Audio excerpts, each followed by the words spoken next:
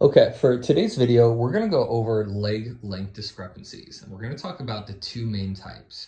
We're gonna talk about structural leg length discrepancies and then functional leg length discrepancies. So first of all, to get an understanding what's happening here, I've got both of my feet flat on the ground, both of my toes are pushed up next to a flat straight object.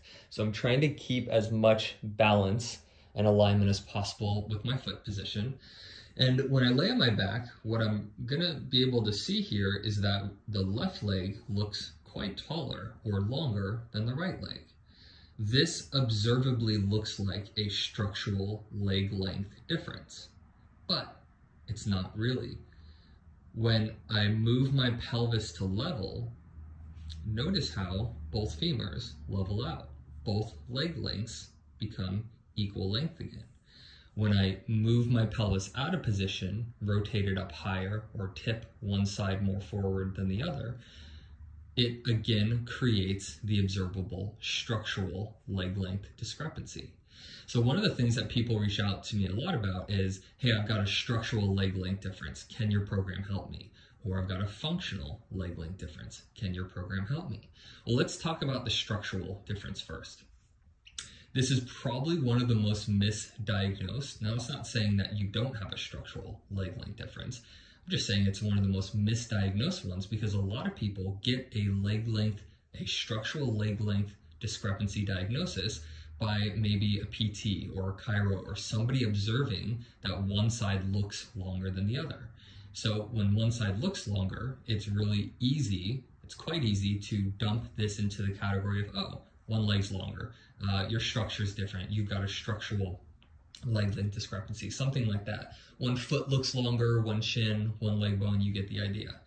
But what we're really not being careful of is understanding that when imbalance develops and becomes severe enough between the right and left side and the pelvis rotates out of position, it can make one leg look significantly longer and feel and work quite different than the other leg.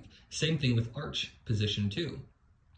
Both feet can be the same length structurally, but if one foot functions differently than the other foot, one foot is going to appear longer than the other. And not only is it going to appear, you're actually going to measure it, and it is going to actually measure longer. But again, it's not structurally different, it's functionally different because one side works different than the other. So if you have a structural imbalance, let's say the disparity between right and left leg is a few millimeters. Okay, so we've got a few millimeters of difference. Let's say the left leg's a little bit longer than the right leg.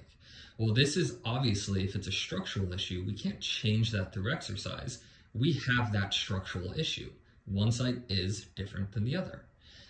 If it's only affecting us by a few millimeters, what we want to do is work, still work on improving balance and function between the right and the left sides, even though we're not going to get it 100% perfectly balanced.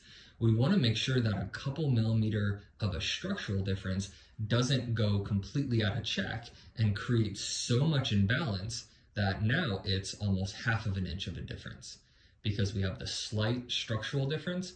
Now, because one side has worked so different than the other, it's going to eventually evolve over time into quite a significant change because the muscles are functioning very different between the right and the left side.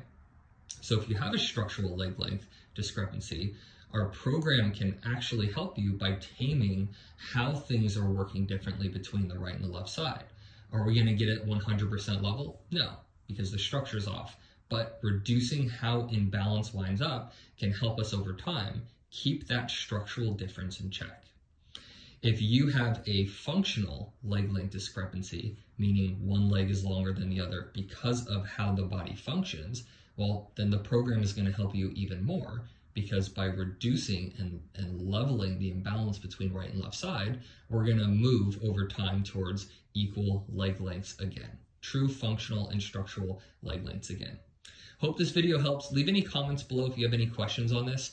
Um, just for a little bit more of a breakdown on, on why and how the pelvic position or rib cage position can affect leg length discrepancy, maybe I'll make for another video, but in short, we've got these femur thigh bones that connect right at the top of our pelvis, right? So we've got these two ball and socket joints that are, are intrinsically connected to the pelvis through a variety of tendons and ligaments and soft tissue.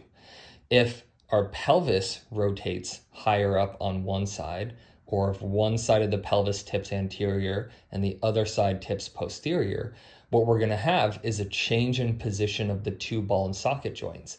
And if the right pelvis comes up higher, so is that right ball and socket joint, which is going to again make it look structural, but it's functional because the pelvis is closer towards the rib cage. So restoring balance and function in both hips over time, being able to actually get back to a level pelvic position is going to put both ball and socket joints on the right and the left side in the same position, thus giving you better function, better balance. Hope this helps.